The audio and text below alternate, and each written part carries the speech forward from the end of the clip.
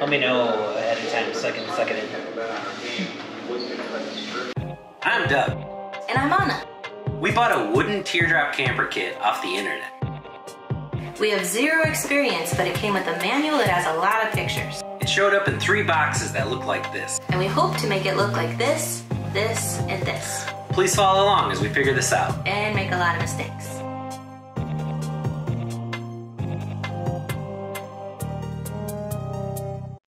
Uh, so what we are doing today is I've got a bunch of plastic laid out on these plywood sheets. We have a couple of the panels that we pulled out of the packaging and they have these puzzle joints on them. So I just took some 220 sandpaper just to clean up those edges. Um, they really kind of pop together uh, smoothly, maybe a little bit of a rubber mallet on them. And what I'm gonna do is mix up some epoxy. Well, actually first I need to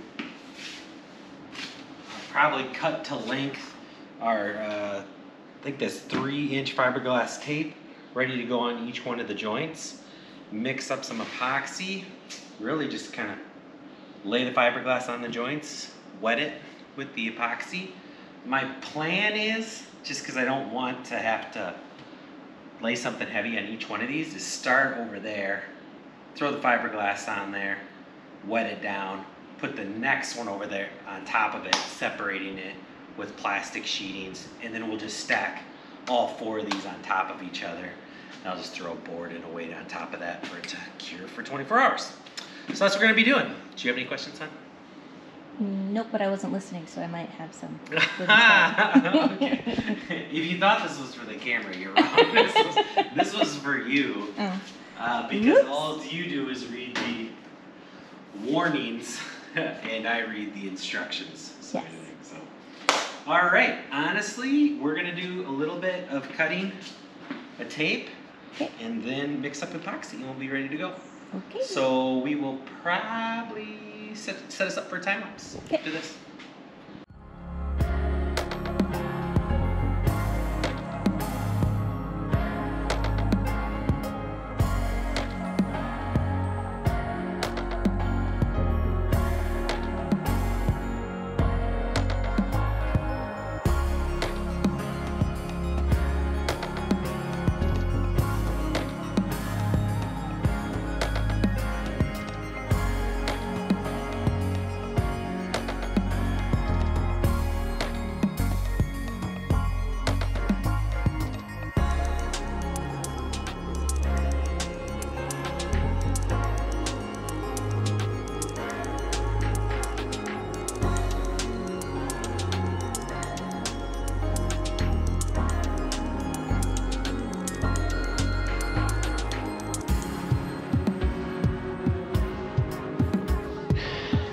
All right, and we have joint number four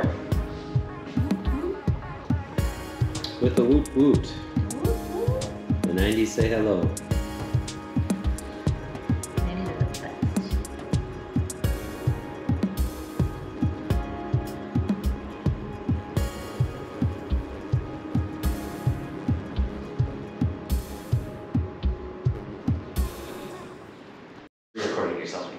Not. I'm recording you. I did that once. Psych. Uh, now, what I think we're gonna do is unpackage the mold, so that takes 30 to 45 minutes of peeling tape off because they do a great job here. Grandma Uh, wrapped it. And then I think this is where we're gonna put the mold as far as space goes. Maybe we'll end up moving those tables once they're sanded. Just because I would like to get sanding as close to the garage door as Mhm. possible Keep the mess. for a quick blowout um, Mhm. rather than it getting everywhere else. So that's where maybe the mold will end up a little bit further that way. But we can move it after we're done. I think it's pretty simple uh, instructions.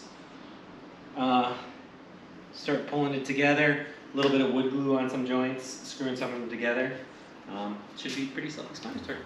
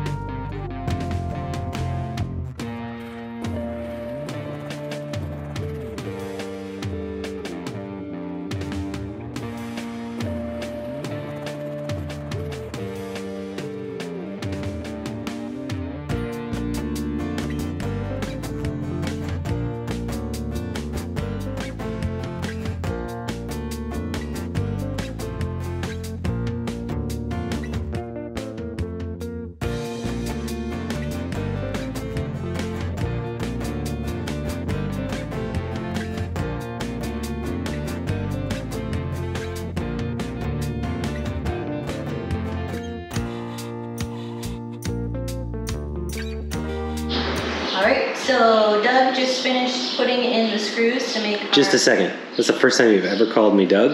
Made me It's weird, uncomfortable. huh? Yeah. husband face. Thanks. Husband face or Captain Handsome. Um, just finished screwing in all of the nails to make our mold more steady and sturdy and ready to hold the uh, camper shell. And we read in the directions, I read the what not to do sections of the book, Doug read the actual instructions, and one of the sections mentioned that you could accidentally glue your camper shell to your mold um, if it's not covered with masking tape. So that's what I'm gonna do now is cover any part of the shell mold uh, that would be touching with tape so that we don't accidentally glue the camper shell to the mold. Yeah, Do it. do it.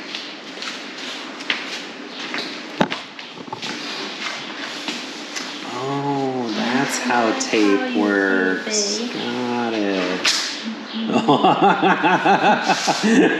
Just oh. checking if you were, if you needed know how to Oh, tape. I'll do it that- again for you. Yeah, and then the bolt pull there. Just trying to do like one. yeah.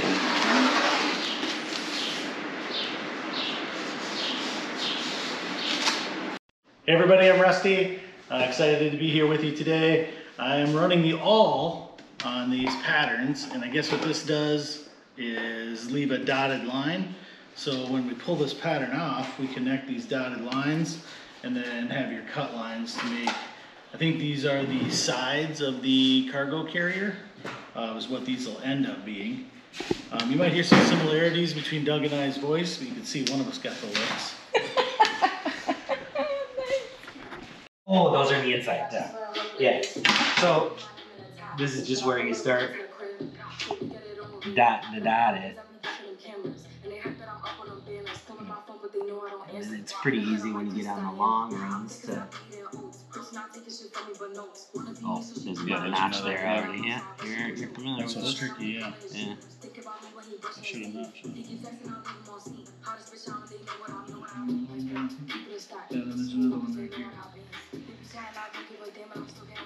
Okay.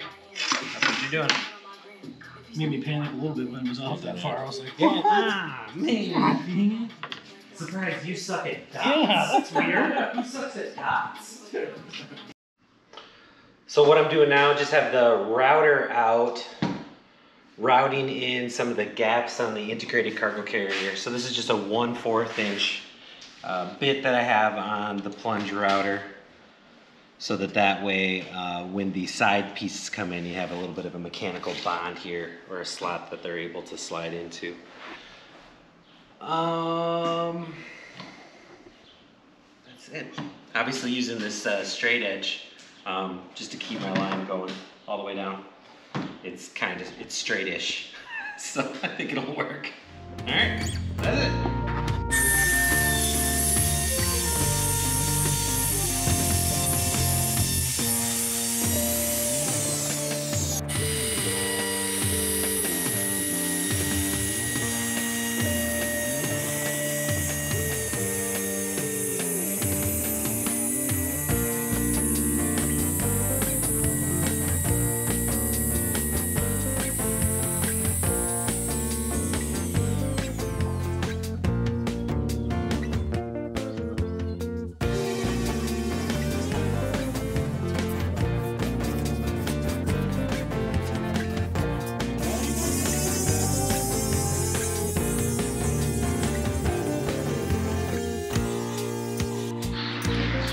Hi, we have made a lot of progress today, so I thought I'd walk you through a little bit of what we've done while the guys are on their way to Menards to, I, I don't know if they're dropping off plywood or picking up plywood, to be honest, something.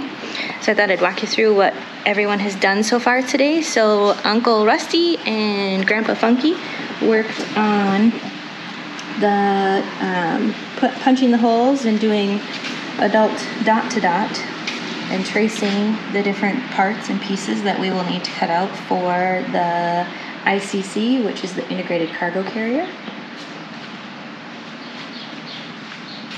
So they were a big help doing a lot of that busy work on the side um, for us so that we can keep going on the main part of the project.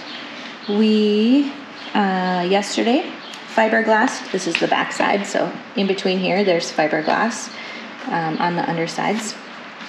And this morning we sanded those fiberglass and epoxy sides down from the four that we did yesterday. So this is what one of the joints looks like once it is uh, epoxied, fiberglass, and then sanded with an orbital sander. And now the next step we're going to be working on is um, joining these two pieces here, which are the number one pieces. Once they are joined, they then will go into our mold over here, and they will lay down in this arch, and they become the ceiling to the teardrop camper.